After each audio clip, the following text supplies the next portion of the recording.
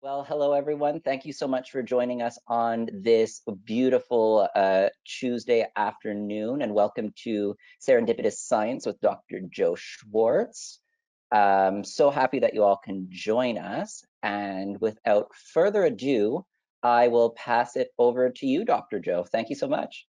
Thanks very much. And uh, hi again, everyone. A little bit of a different topic uh, today. Get your mind off of COVID talk all the time. Come back with me for a moment to 1954. I grew up in Hungary and I constantly had trouble with my tonsils, and in 1954 they had to come out. And they did. And I remember this very well. The doctor came into the room, took a cloth, poured some chloroform on it, put it over my mouth, and uh, told me to count backwards from three, and I think I got to two. Well, chloroform was a general anesthetic used in those days, way back in the 1950s. Although it had been discovered a long time before by James Simpson in the UK, uh, when they were looking for various kinds of solvents that you could inhale to put people to, to sleep. Well, today chloroform is not used anymore as an anesthetic because it turned out to be uh, toxic, uh, carcinogenic. Uh, luckily, I used chloroform before it was carcinogen. Anyway, why am I telling you this uh, this story? Uh, because uh, chloroform is no longer used as an anesthetic. In fact, the only reason that chloroform is used now is as starting material to make Teflon. That's a little aside for you. But uh, chloroform uh, brings back these memories for me of having my tonsils out and after my tonsils came out, I was given lots of ice cream to eat. That was the thing in those days. That's how you soothed your throat after the tonsils.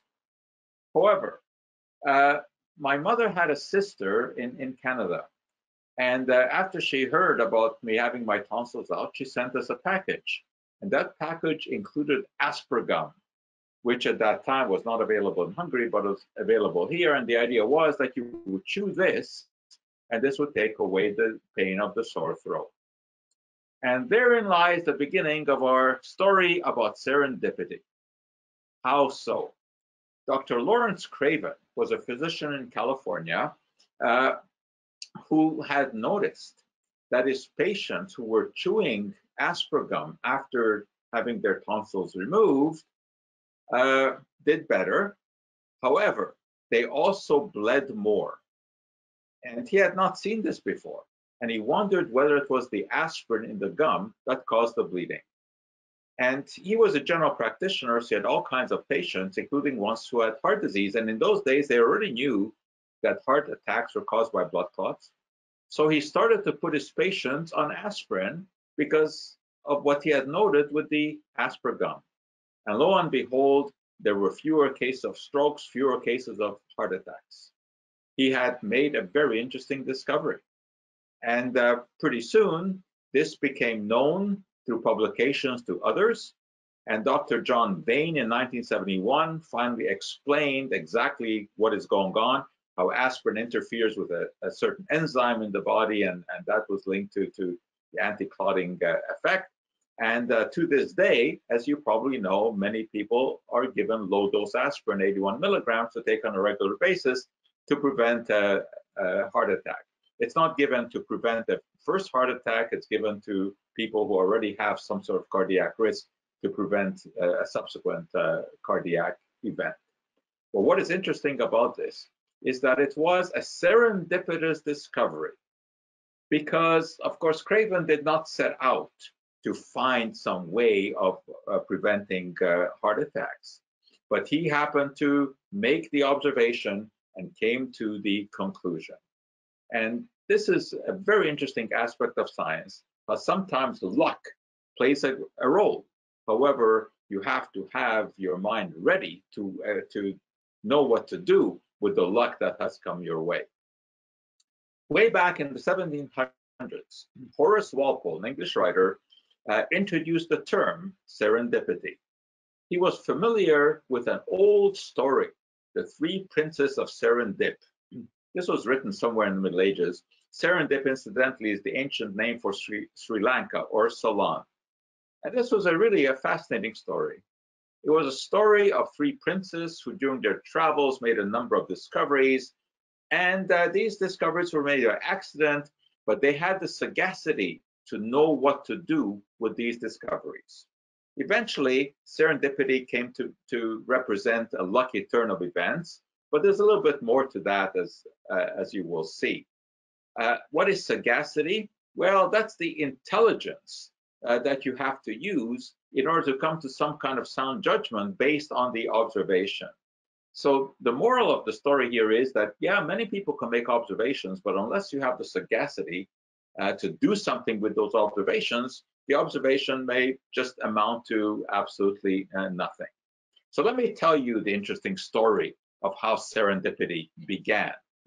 It all goes back to a camel salesman who apparently lost one of his camels and he was looking for it and was unable to uh, to find it. But these three princes, uh, during their adventures, actually came up with a solution to this rather interesting problem. And when they met the camel merchant who informed them that he had lost a camel, they said, well, yeah, they knew that he had lost a camel and that the camel was lame, blind in one eye, uh, and all of these details, as you can see, carried butter on one side and honey on the other, was ridden by a pregnant woman. And the uh, camel merchant was absolutely blown away by this. Why? Because it turned out this was true. This is exactly the kind of camel that he had lost. Well, how did these guys know about this? Because during their travel, just before meeting the uh, camel merchant, they had noticed some unusual camel tracks on their journey. And they made some interesting observations here. And for example, they saw that on, on uh, one side of, of the road, the grass had been eaten and not on the other side. And it had been eaten where there actually was less grass. So they kind of surmised that the camel was blind on, on one side and didn't see the luscious uh, grass. And uh, they also saw some large tufts of grass, and from that they inferred that the camel must have had a missing tooth where the food came out of its, its mouth. And uh, because uh, they saw only three solid footprints and one kind of dragged along, they inferred that the camel was lame. And as you can see here, uh, they found that uh, on one side honey had spilled and, and uh, uh, ants gathered there, whereas flies gathered on the other side where the butter must have been. And the pregnant woman had had to, to urinate and she had squatted and used her hands to push herself up because she was heavy because of the baby. Well, pretty interesting. What does this smack of? Sherlock Holmes, right? Making observations and coming to conclusions. But of course, there was luck involved here in, in the fact that they happened to meet that merchant who had lost the, uh, the camel so that they could reveal their observation. And one wonders whether or not Sir Arthur Conan Doyle, the creator of Sherlock Holmes, had ever read The Three Princes of, uh, of Serendip. So now you have a bit of a background on where this expression serendipity comes from. It is luck, but there's a bit more than luck because it is also uh, knowing what to do with the lucky observation that has come your way. So these three princes were able to capitalize on the chance observation that they had made when they heard about the lost camel. Hmm. Let's take a look at the world of science, where this whole notion of serendipity may play a role. And I think it is really opportune here to start with the story of Louis Pasteur, and of course his classic statement uh, that uh, chance favors the prepared mind. Um, I think we get the idea of what that means is that many people may make some sort of observation but never know what to do with it. So uh, if luck comes your way, you have to be able to capitalize uh, on that luck, which Pasteur demonstrated very, very neatly. Now, of course, we know Louis Pasteur as the originator of the germ theory of disease which was based on his studies of fermentation. Uh, basically, the French government had asked him uh, why sometimes wine goes sour and, and uh, beer develops off tastes. And he eventually figured out that there were microbes that would contaminate these uh, beverages. And that eventually gave birth to the germ theory of, of disease. So Pasteur, in the middle of the 1800s, became very interested in uh, microbes and especially in whether or not these were linked to disease. And one of the diseases that farmers were very, very interested in those days was a disease called chicken cholera. And it was an infectious disease that was passed from one bird to the next, and it could wipe out whole chicken populations. So Pasteur was interested in finding a way to solve this problem. And he managed to isolate uh, a, a microbe, a bacterium from a chicken, and he wanted to explore whether or not this was the causative factor in chicken cholera. So he injected it into live birds and discovered that indeed this was the factor because the birds died. And he was carrying on uh, with this work, but his uh, holidays intervened. And he had some um, chicken cholera uh, bacteria that he had put away and uh, when he came back from vacation, he wanted to continue on with this work and again try to inject uh, healthy chickens to see whether or not they would get sick. And believe it or not, they did not. They kept on leading their happy life. Most people would have thought, gee, you know, there must have been something wrong with that original batch. That must not have been what killed the chickens because why wasn't it doing it again? But Pasteur thought about it and thought about it, and he thought that maybe something happened to those microbes, to those bacteria in the intervening time.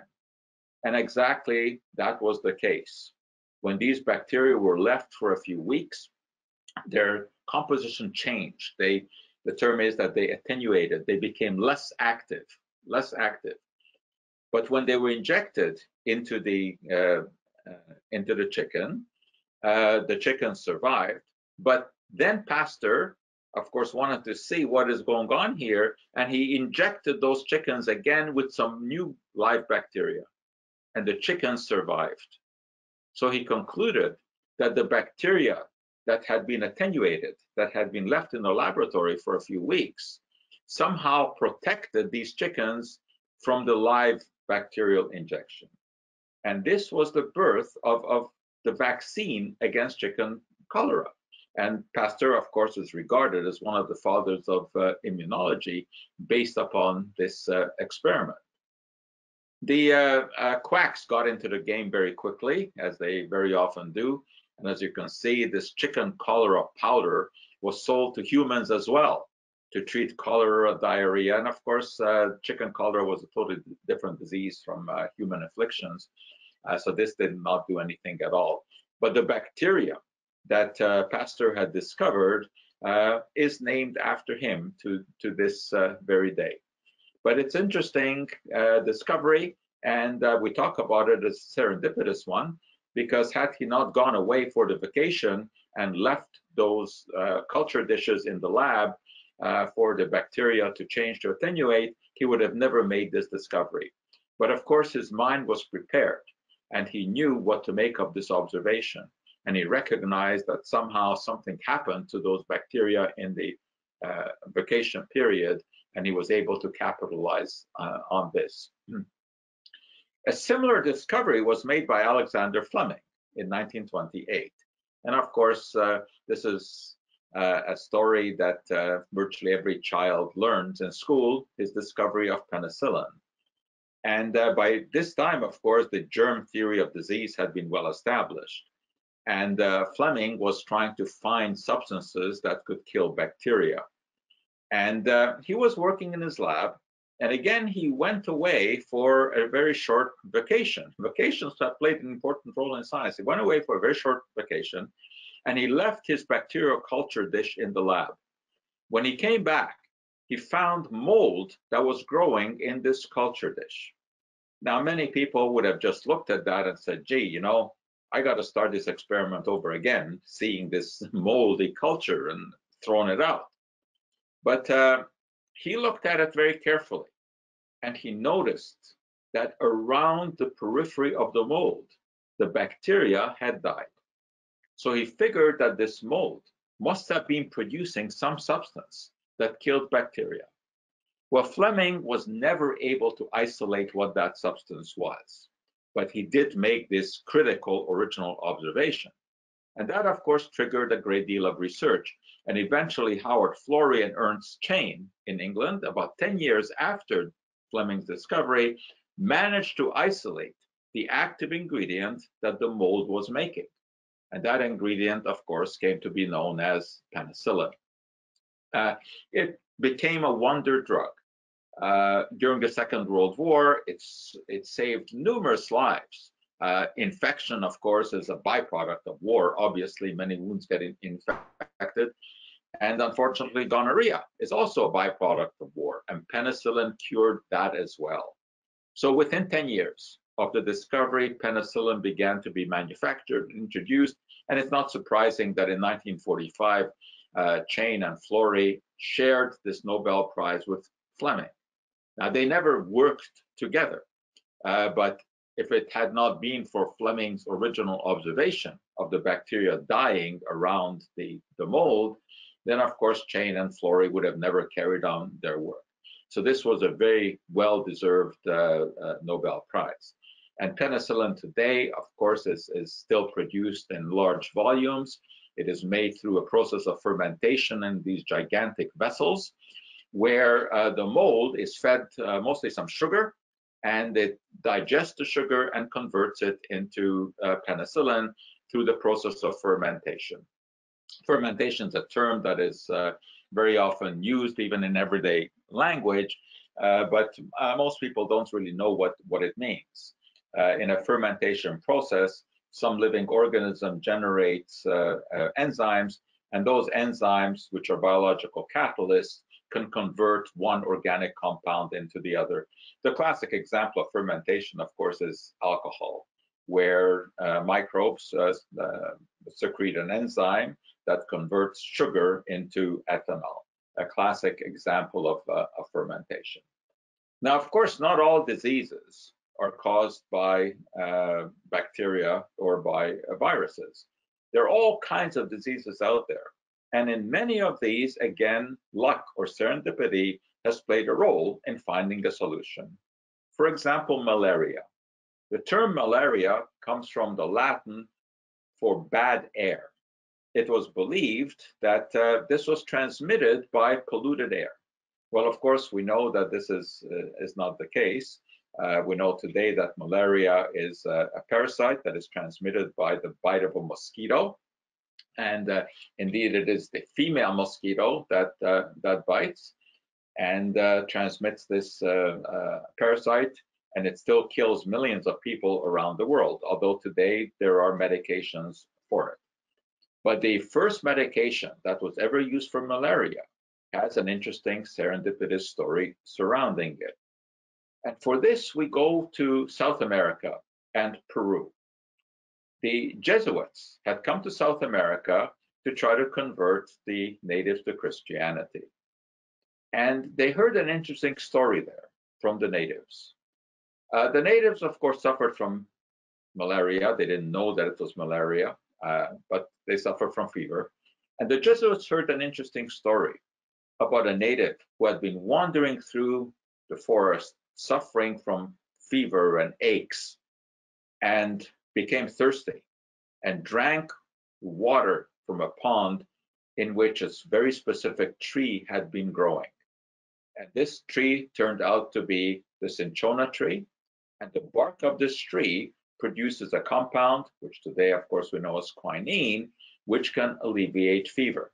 So the Jesuits heard about this and they imported Peruvian bark back to Europe to treat malaria and uh, the cinchona tree became a, a very important product, a med medicinal uh, product.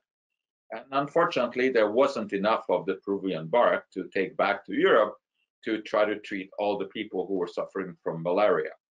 However, again, it was a chance discovery because it was the luck of this native, if the story happens to be true, which it might well be, uh, of drinking from just the right pond and noticing that a specific tree was growing around that uh, that pond. Well, today, of course, we know that the active ingredient in the bark of the tree is quinine, and it is still extracted from the bark of, of the tree. It is still used uh, in the uh, treatment of malaria. Uh, however, there are other medications today that are also used.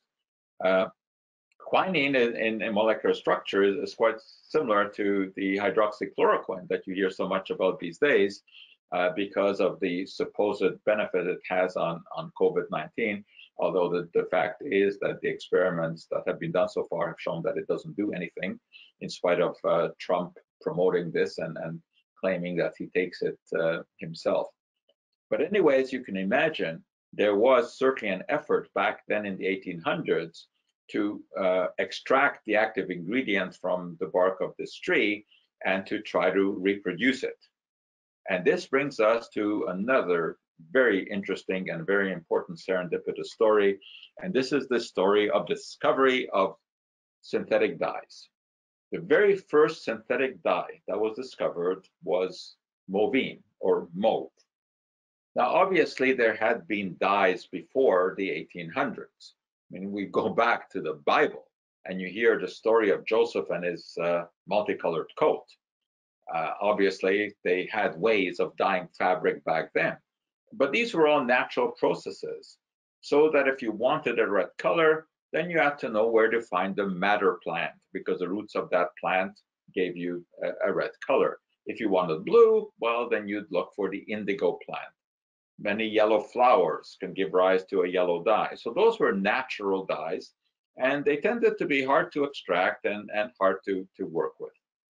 Well, mauve became the world's first synthetic dye, and in fact, it was a color that no one had ever seen before. It was a total novel color. Well, let me tell you the serendipitous story of how this one came about. We go back to the era of Queen Victoria. And uh, at that time, uh, although there was a lot of very good science that was being done in Britain, it turns out that Germany was the, was the leading country when it came to making scientific discoveries. And Justus von Liebig uh, was one of the top German chemists at the time. And he was much sought after as a lecturer. And he was invited to come to England. And he did. And he gave a series of lectures in England. And in one of those lectures, he made this rather astounding statement, not very pleasant to his hosts, that England is not the land of science, there's widespread dilettantism. Chemists are ashamed to be known by that name because it has been assumed by the apothecaries who are despised. And indeed, in England today, uh, pharmacists are still called uh, chemists. Now, of course, uh, Liebig wasn't really correct about dilettantism in England. I mean, after all, England had produced uh, the likes of uh, Newton and uh, Faraday and uh, John Dalton and Humphry Davy. Uh, so uh, it's not like England wasn't producing scientists, but Germany really was doing super research at that time. And Prince Albert, who was Queen Victoria's husband and was of German descent, wanted to capitalize on German knowledge and uh, he wanted to import top-notch German scientists to England to kind of lubricate British science. And he asked August Wilhelm Hofmann, who was uh, one of the leading lights of German chemistry in those days, to come to England and to set up what came to be called the Royal College of Chemistry. And this was the first institution in Great Britain ever specifically devoted to the study of, of chemistry. And uh, there were a lot of students who gravitated here, uh, drawn by the fame of, of, of Hofmann. And one of these students was a youngster, 16-year-old William Henry Perkin. He actually was too young to be formally admitted as a student, but uh, he had developed a love of chemistry he had just read about it himself. And in those days, of course, there wasn't all that much to read. So it's quite interesting that he became so motivated. And he banged on the door and he asked Hofmann to allow him to do anything. He would clean up after the other students, he would wash their glassware, uh, he would do anything to help. He just wanted to, to be involved with chemistry. And I guess he was very persistent. And Hofmann said, okay, uh, you'll help. And it turned out to be very good. And the graduate students started to give him more and more uh, reactions to carry out. And then in 1856, the Easter holidays rolled around, and the institute was to be shut down for a couple of weeks. And Perkin went to Hofmann. He said, Is there anything I can do at home? Because I don't want to be without chemistry for two weeks. Very, very understandable. Nobody would want to be in that position. And I guess he pestered and pestered and pestered until Hofmann said, All right, okay, I'll give you a little task here. You know, um, we're looking for a way to make quinine in the laboratory. And Hofmann himself had been working with his whole group, and here's the whole group of Hofmann, and they're highlighted as, as, as young Perkin. He had been working with these students, and he, with their help, had already examined the bark of the cinchona tree, and they had managed to isolate a white powder from there, and he knew what its chemical composition was. Now, they do nothing about molecular structure in those days, but they were able to de determine elemental composition. So he knew that quinine was made of carbon, hydrogen, oxygen, and, and, and nitrogen. And he wanted to synthesize this so that he could fulfill the needs that the population had for quinine. Now he knew that there was a chemical that could be found in the tar left behind when coal burned, and that was aniline. And aniline seemed to have a composition similar to quinine in terms of the carbons, the hydrogens, and the nitrogens, but it had no oxygen. So his idea was to take aniline and react it with an oxidizing agent, a chemical that would add oxygen, to convert it into quinine. Now, in retrospect, we know that this was a totally futile effort. They know not they knew nothing about molecular structure. Quinine is a very complicated molecule. They had no chance at all of synthesizing it in those days. Of course, such hindsight is easy. Today we know about molecular structure, we know about chemical synthesis. They had no way of making it then. So it was not a bad idea to try to take something that had no oxygen in it and tried to add oxygen to it. In fact, the synthesis of quinine was only achieved by Robert Woodward, the greatest or synthetic organic chemist who ever lived at uh, Harvard University, and that was done in um, 1944. This was not a commercially viable synthesis. This was only of academic interest. It contained hundreds of different steps. Even today, quinine cannot be synthesized. It is isolated still from the, uh, the bark of the tree. So anyway, Hofmann said to young Perkin, go home, take aniline, start adding some oxidizing agents to it, see if you can make quinine. Of course, he could not. He kept coming up with various kind of tars and gums and the biggest problem was washing out the glassware because there was all this sticky gucky stuff. And one day he couldn't wash out his flask with soap and water. So he tried rinsing it with alcohol and he noticed something amazing the sink into which he dumped this turned into a brilliant color and this is the color that today we recognize as mauve he had never seen anything like this now, again, I think many people would have said, hell, how do I clean this mess? But not Perkin.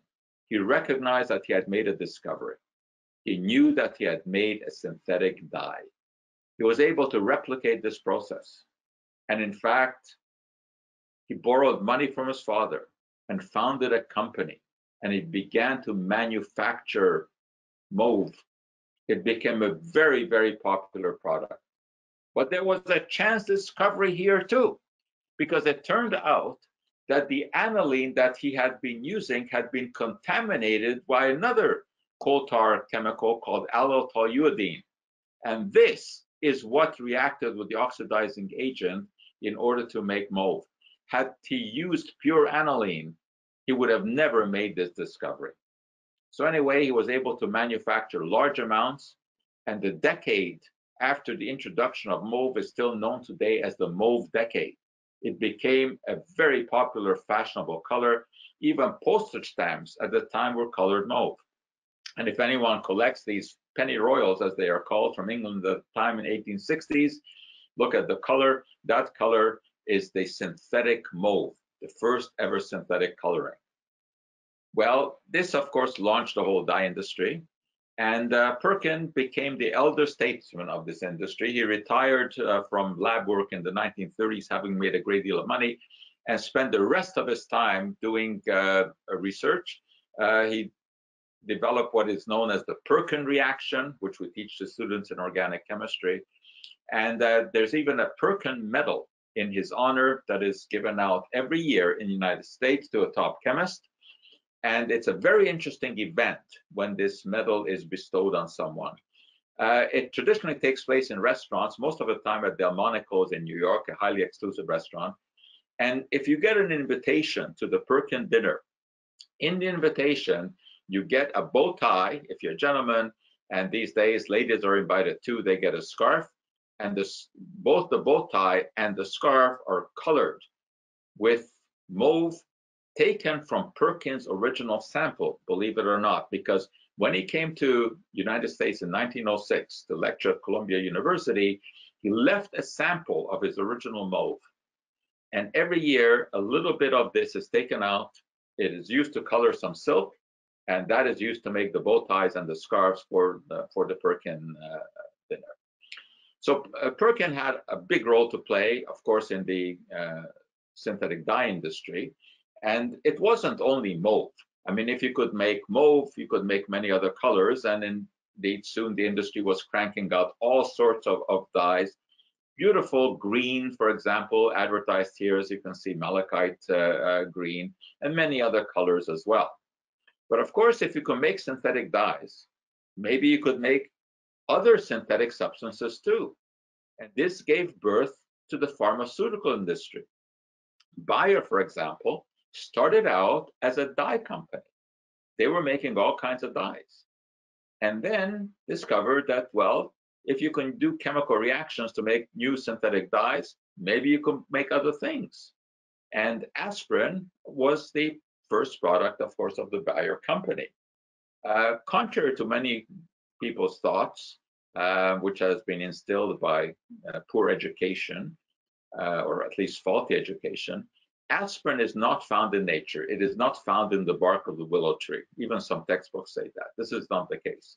There's a compound in the bark of the willow tree called salicin. And salicin does have fever reducing properties and, and anti-inflammatory uh, properties. And it has been used since, through, since the ages. Hippocrates recommended an extract of the bark of the willow tree for, for fever. The only trouble with it is that it also upsets the stomach a great deal. So the idea that Bayer had was to take the naturally occurring compound and modify it somehow in the lab. And that is what gave birth to aspirin. It is a synthetic modification of a compound that occurs in, in nature.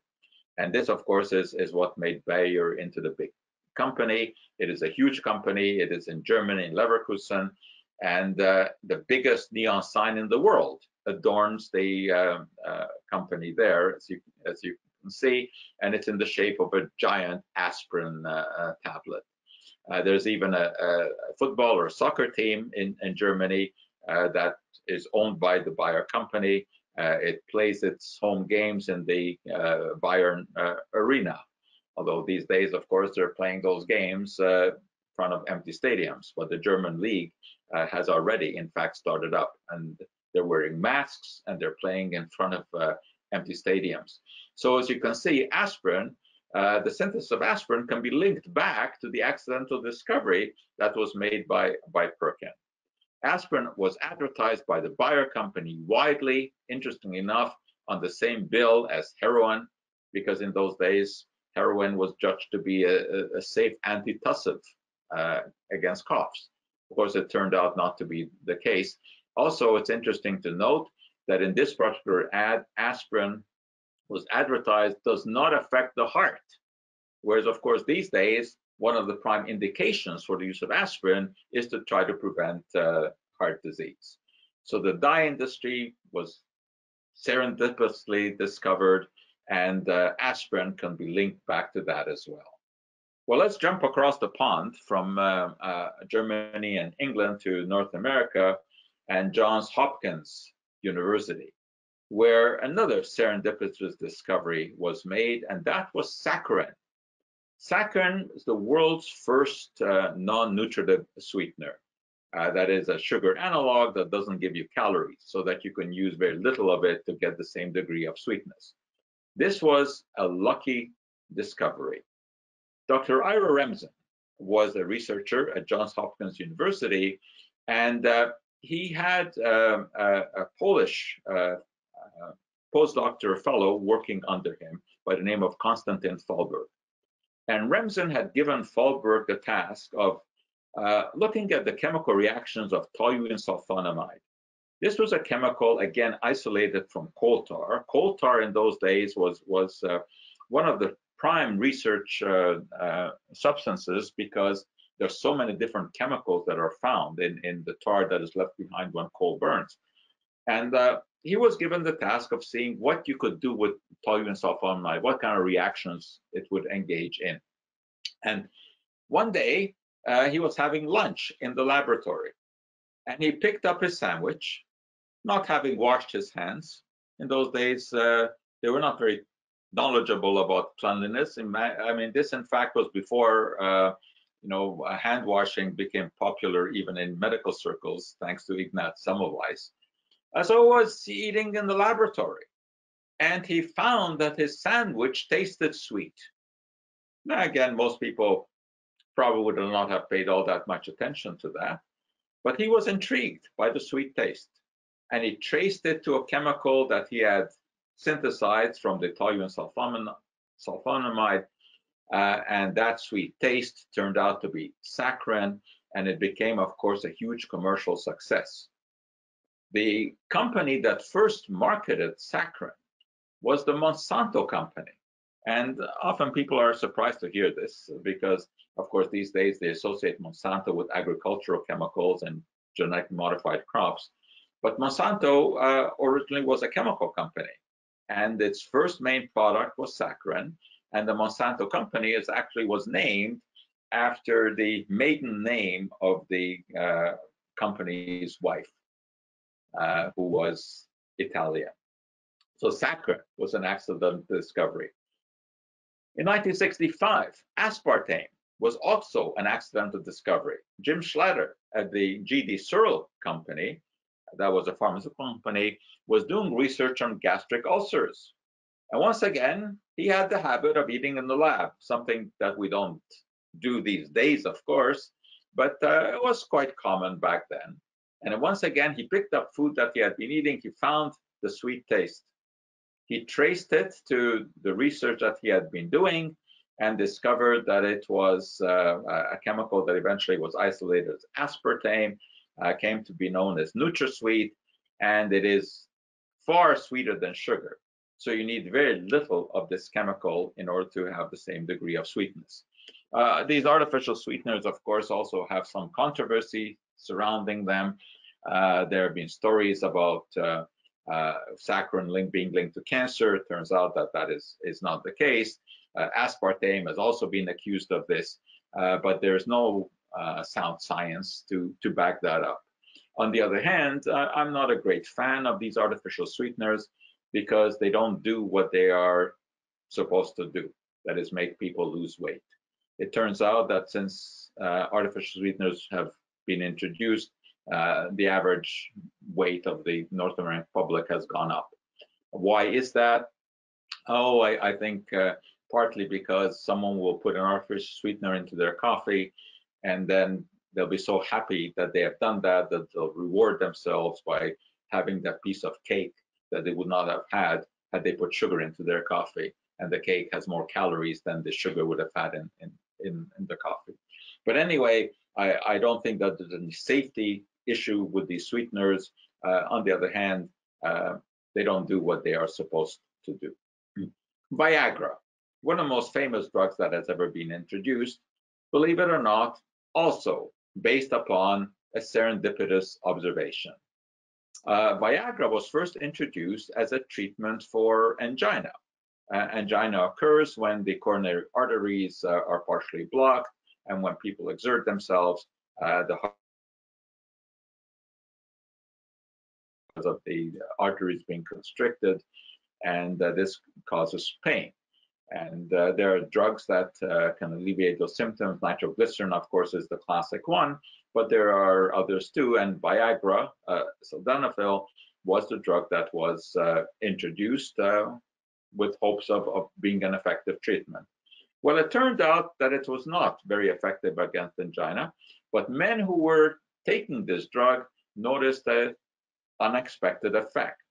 Uh, they noticed that um, they became more manly when they were taking the uh, the drug, and this came to the uh, attention of Pfizer, which was the manufacturer, and of course they were able to capitalize on this. And uh, this has now become uh, one of the most uh, profitable drugs in history. Uh, it, of course, is sold for erectile dysfunction, and it is a drug that actually does work. Obviously, it doesn't work in everyone. No drug works in everyone, but you can see that it all came out of this uh, interesting chance discovery. Well, there's one other area that I want to mention to you as we're talking about, you know, lucky uh, discoveries. And this is uh, something that we refer to as Mount Everest science. What does that mean? What is Mount Everest science? Why do people climb Mount Everest? They climb it because it's there. And this idea also holds in science. You do some research just to see what may happen. And this is what we call non-goal oriented research. There are two kinds of, of scientific research. There's the goal-oriented research where you have a problem that you're trying to solve. Right now, of course, we have the problem of COVID-19, uh, and everyone in the world is working on trying to find a, a, way to, to treat the disease or to develop a vaccine. This is goal-oriented research where you know exactly what your goal is and you're trying to get there. But there's also something else that we call basic or fundamental research that is not goal-oriented, that you do just because no one has ever done this before. And it isn't because you think it's going to lead to anything specific. Uh, it's just to, to, to try to unravel the mysteries of nature.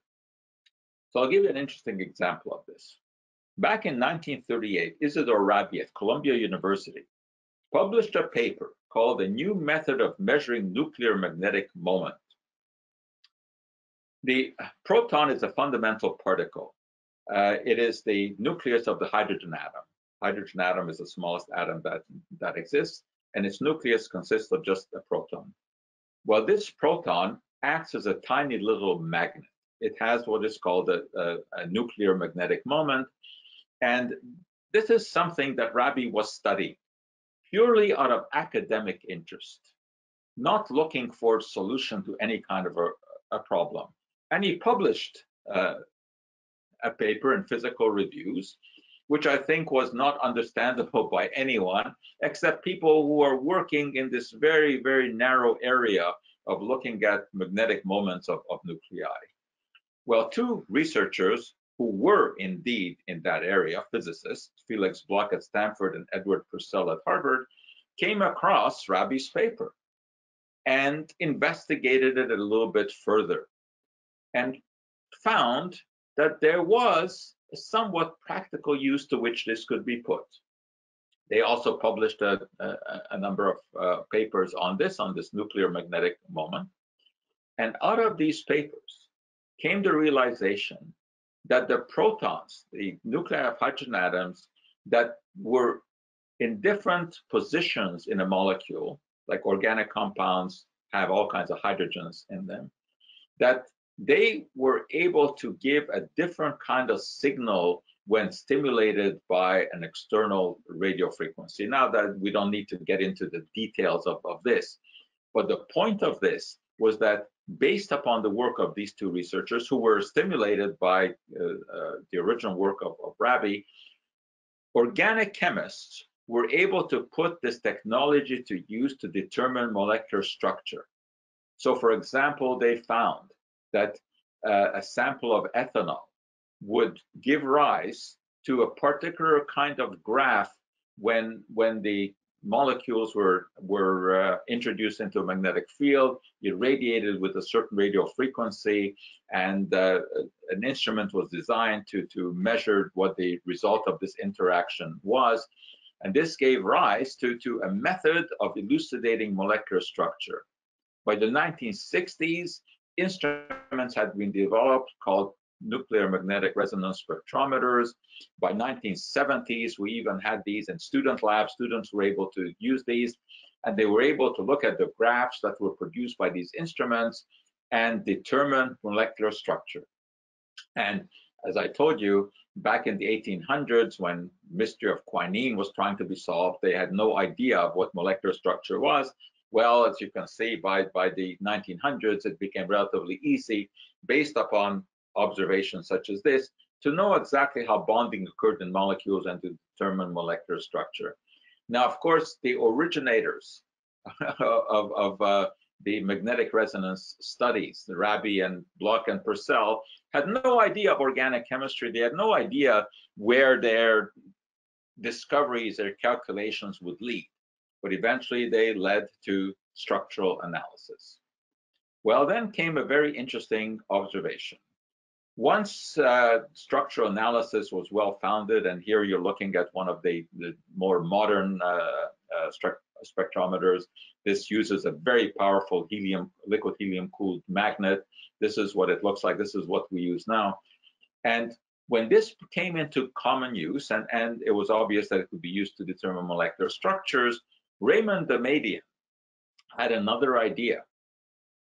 He knew that living tissues, of course, were made of organic compounds, and organic compounds had hydrogens all over the place. So he wondered what would happen if instead of just using a sample of an organic compound in a spectrometer, you used an animal. So for example, the tail of a mouse would be put in between the poles of the magnet, surrounded by a radio frequency uh, oscillator, and uh, he wanted to see just what kind of information this would reveal.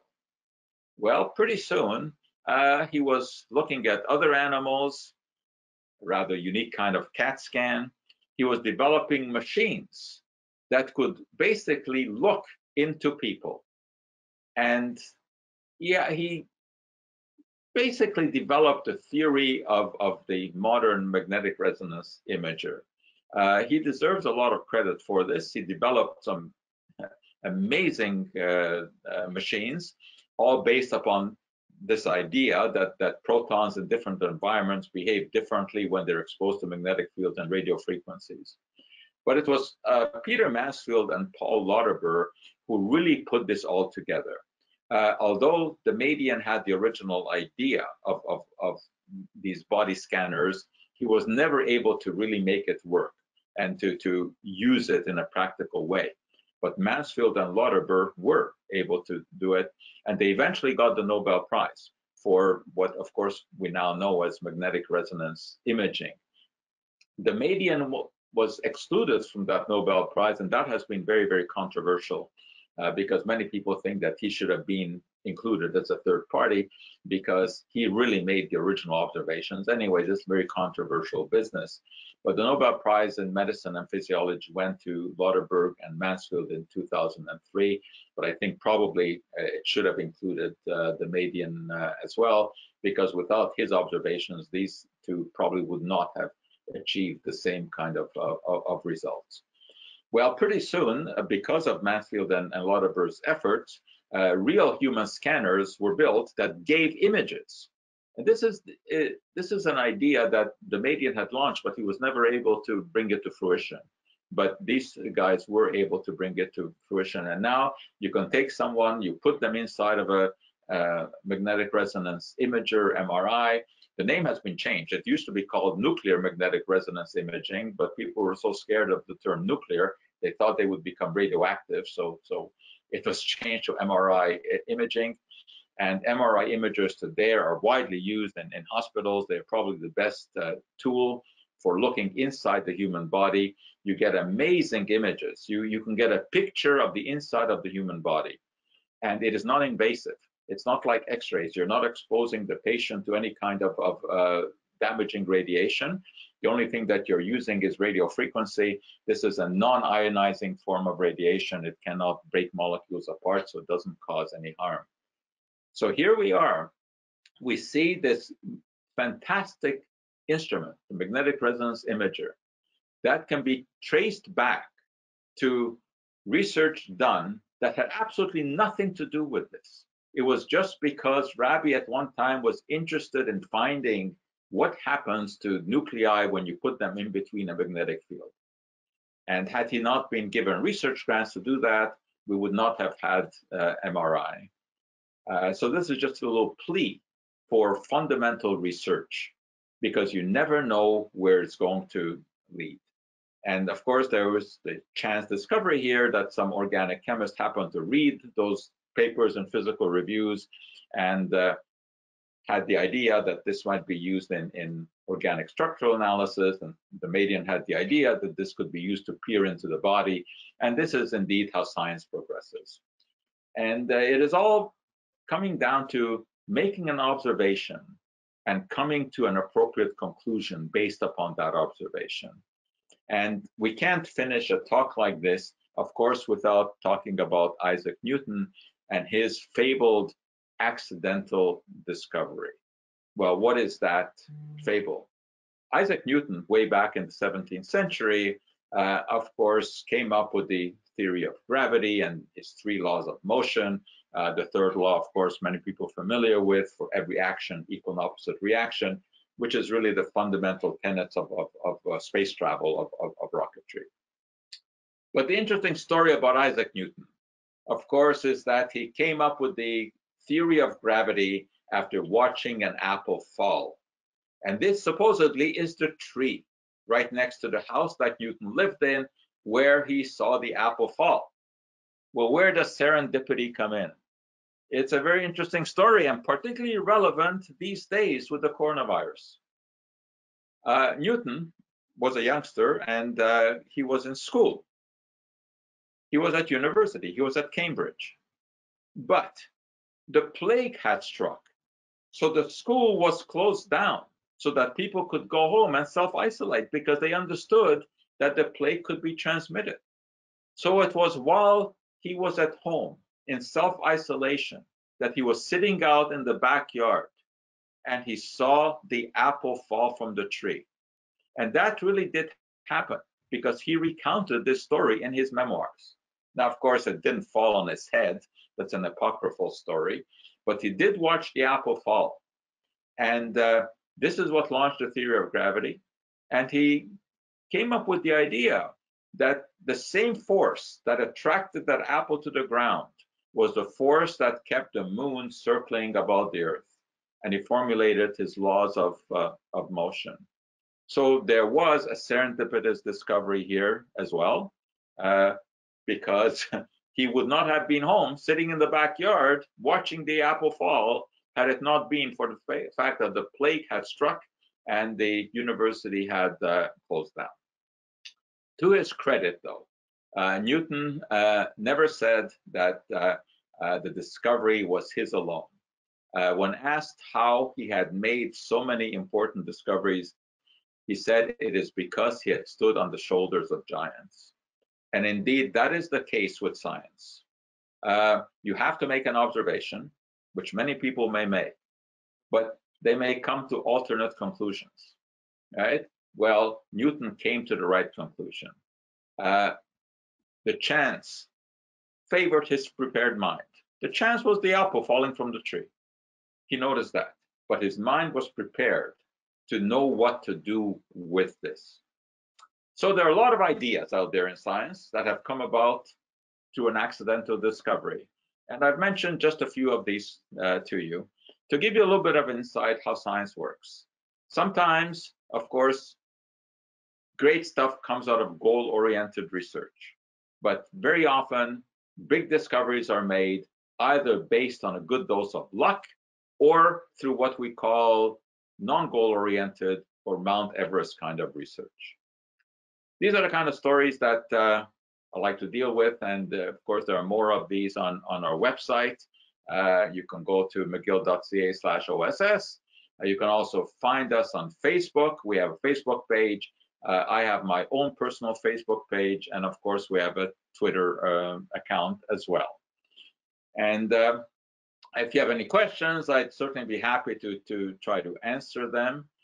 And uh, I remind you also that, that we do have a program every Thursday through our office uh, called uh, OSS Discussions of COVID-19 plus more, where we discuss current happenings in the COVID era, plus whatever else interesting science comes up. And if you check our website, you will always know what time that uh, discussion will take place. But it is recorded, so you can always look at it later, just like this uh, presentation is. So thanks very much for uh, your attention. And if anyone does have any questions out there, I'd be happy to try to answer them. Hello, Dr. Joe. Thank you again so much for the uh, very, very interesting presentation. I'm looking at the time now. I don't think we're going to actually have a chance to answer any questions live, but I will make sure to take note of them and I will send them your way. Uh, so that way, if you want to reach out to them personally. Uh, but once again, thank you so much for joining us uh, today, especially on such a beautiful day. Uh, thank you to everyone that joined us today for it. Um, I know sometimes on a beautiful day like this, it's kind of hard to say which one you want. So hopefully a lot of you were able to enjoy Dr. Joe's uh, presentation outside in the sun. And I'm also just going to reiterate again that uh, every Thursday, Dr. Joe has um, uh, uh, another live webinar with the OSS that you can check them out on their Facebook page and on their YouTube channel. And uh, once again, thank you so much, Dr. Joe. I really do appreciate you joining us again today. And I look forward to the next one that we have whenever that might be. Thank you. And, and I'm happy to answer questions through email.